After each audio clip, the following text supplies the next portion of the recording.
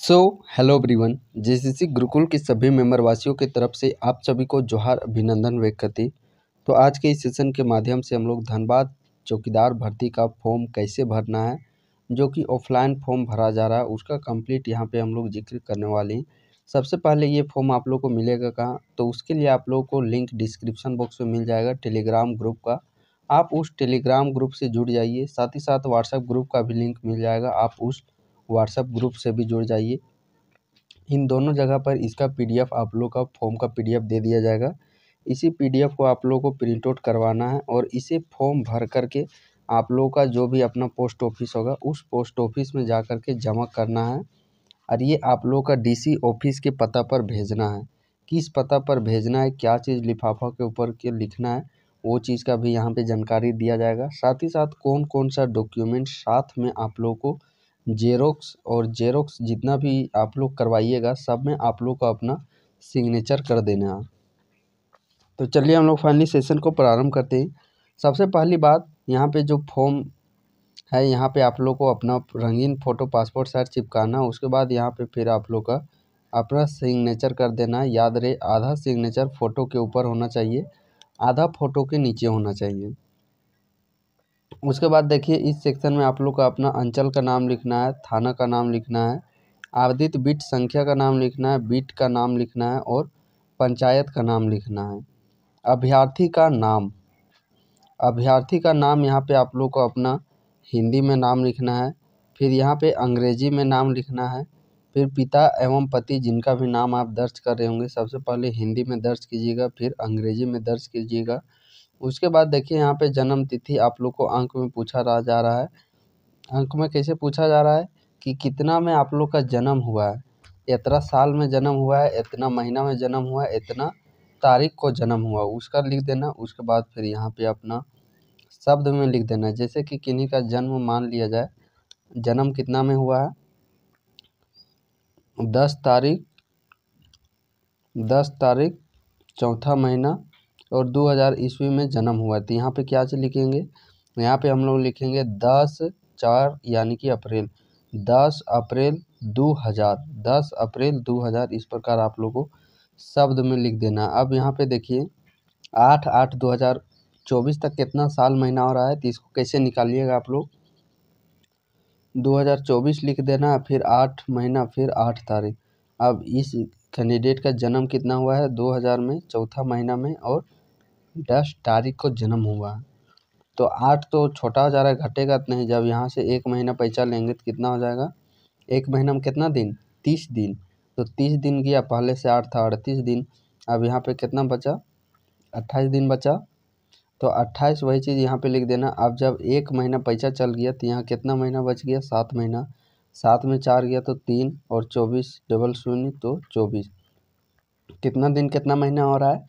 चौबीस साल, तीन महीना, अट्ठाईस दिन। तो उसी तरीके से यहाँ लिख देना है, चौबीस साल, तीन महीना, अट्ठाईस दिन।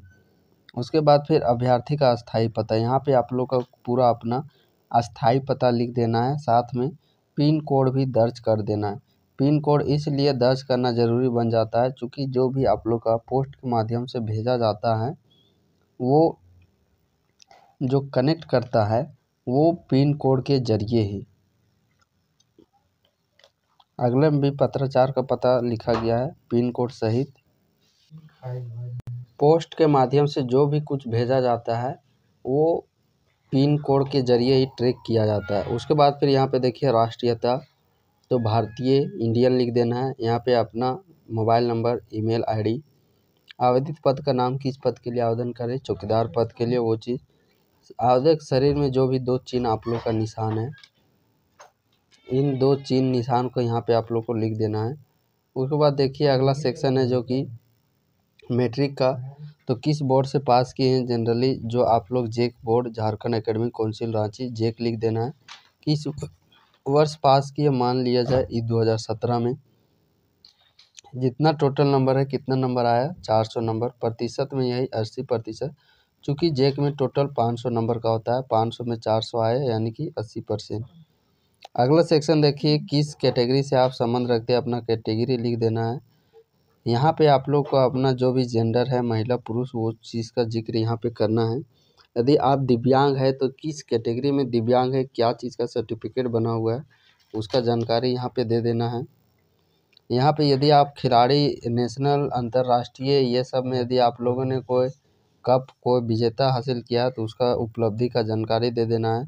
फिर यहाँ पे देखिए, आवासीय प्रमाण पत्र जो रेफरेंस नंबर होता है, देखिएगा बाएँ तरफ़ में J H R C oblique दो हज़ार चौबीस ओब्लिक कुछ चार पाँच डिजिट का संख्या होता है, उसका दे देना है।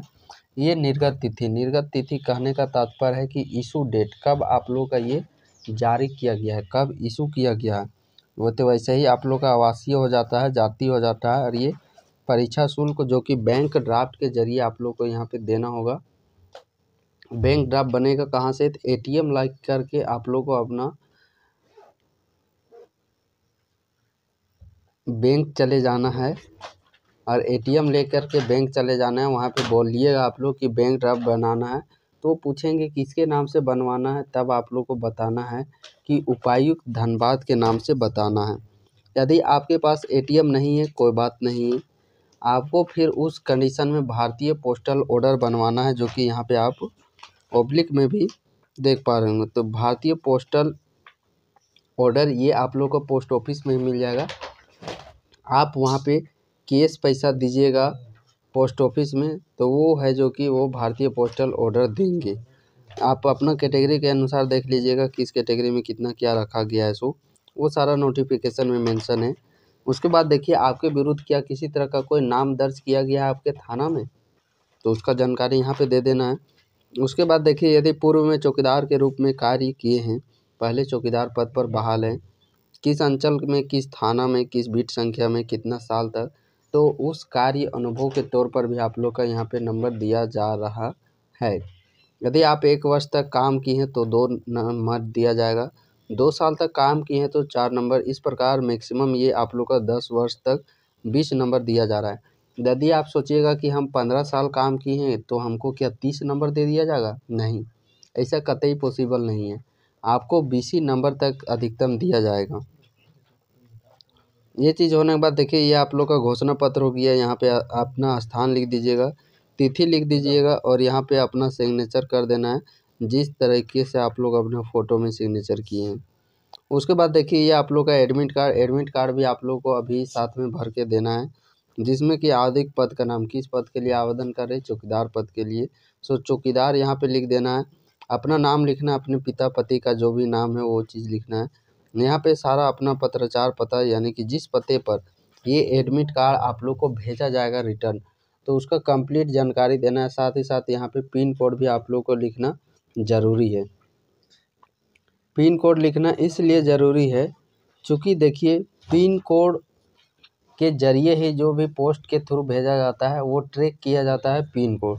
तो इसीलिए पिन कोड महत्वपूर्ण हो जाता है। उसके बाद फिर यहाँ पे देखिए, पुनः आप लोग को अपना एक रंगीन फ़ोटो साइज़ यहाँ चिपकाना है। आधा फ़ोटो सिग्नेचर के ऊपर होना चाहिए, आधा सिग्नेचर फ़ोटो के नीचे होना चाहिए।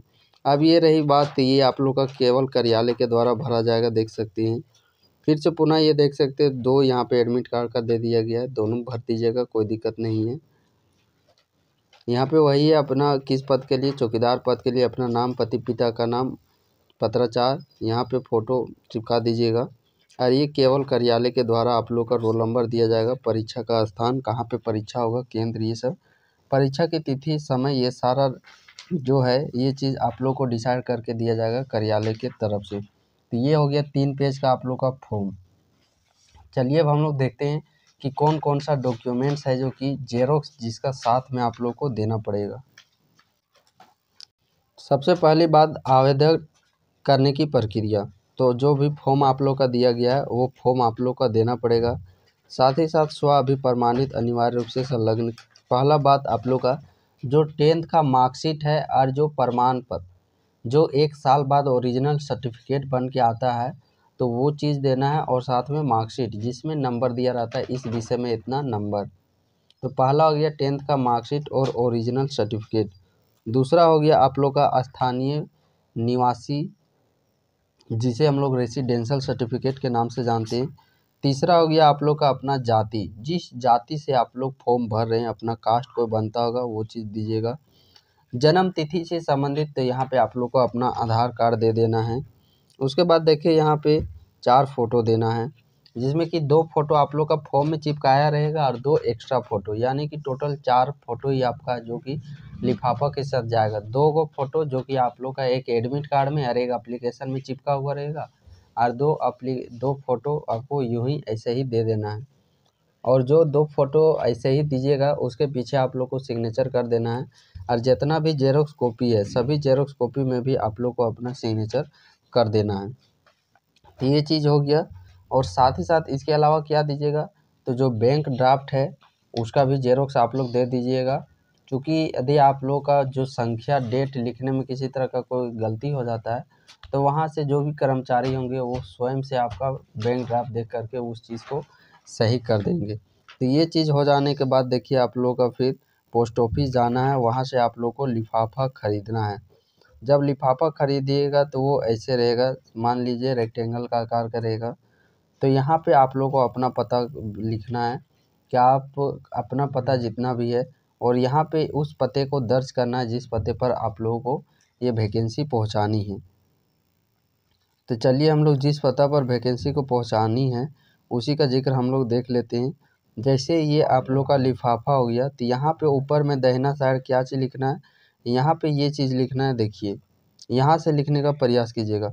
उप समाहर्ता प्रभारी जिला सामान्य शाखा धनबाद, उपायुक्त सह जिला दंडाधिकारी का कार्यालय धनबाद, और ये पिन कोड देना भूलिएगा नहीं, बिरासी सिक्स डबल ज़ीरो फोर। ये पिन कोड आप लोगों का देना है जो कि वो अनिवार्य है। तो इस पते पर ही आप लोग को भेजना है। ये चीज़ आप लोग को इधर दहिना साइड में लिखिएगा और इधर बाएँ साइड में क्या चीज़ लिखना है? तो इधर आप लोग को अपना बाएँ साइड में अपना एड्रेस देना है। देखिए ये सारे चीज़। विज्ञापन संख्या, आवेदक पद का नाम, बीट संख्या का नाम, ग्राम का नाम, संबंधित पंचायत का नाम, अंचल का नाम, थाना का नाम। ये सभी सीक्वेंस आप लोग को इस तरह लिफाफा रहेगा तो यहाँ पे भर देना है। पहले यहाँ पे लिखिएगा। विज्ञापन संख्या तो ज़ीरो वन दो हज़ार चौबीस, दो हज़ार चौबीस का चौकीदार पद के लिए पहला वैकेंसी है। तो ज़ीरो वन दो हज़ार चौबीस लिख दीजिएगा। नोटिफिकेशन में ऊपर में आप लोग का लिखा हुआ है। यहाँ पे पद का नाम, किस पद के लिए? चौकीदार पद के लिए। बिट संख्या का नाम, फिर ग्राम का नाम, पंचायत का नाम, अंचल का नाम। लास्ट में यहाँ पे आप लोग को अपना पिन कोड और साथ में मोबाइल नंबर, ये दोनों चीज़ लिखना बहुत ही बहुत ही ज़रूरी है। तो आई होप सो कि आप लोगों के सारे डोट फॉर्म कैसे क्या भरना है, वो सारे आप लोग के डोट क्लियर हो चुके होंगे। और हाँ बीट संख्या ये सब भरने में एक यहाँ पे बड़ी दिक्कत आती है विद्यार्थियों के साथ में, कि बहुत सारे लोगों के साथ ये चीज़ देखा जाता है कि उनका बीट गाँव का नाम, पंचायत का नाम नहीं है। तो वैसे फिर वो क्या करेंगे? तो वैसे कंडीशन में आपको करना है कि जो भी आपका सबसे नज़दीकी गाँव है, जो नज़दीकी पंचायत है उसी का नाम ऊपर में दर्ज करना है, उसी का बिट संख्या दर्ज करना है और जहाँ नीचे आप देखते होंगे अस्थाई पता तो वहाँ पे अस्थाई पता आप लोग को अपना सर्टिफिकेट के अनुसार भरना है।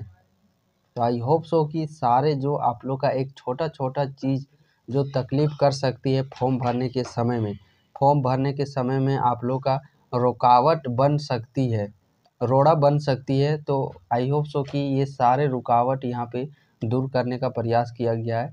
इसके बावजूद भी यदि किसी तरह का कोई भी कन्फ्यूज़न कहीं पे फॉर्म भरने में तकलीफ़, कठिनाई होती है तो आप लोग कमेंट सेक्शन में कमेंट कीजिए, उसका भी आप लोगों का निष्कासन करने का पूरा यहाँ पे प्रयास किया जाएगा।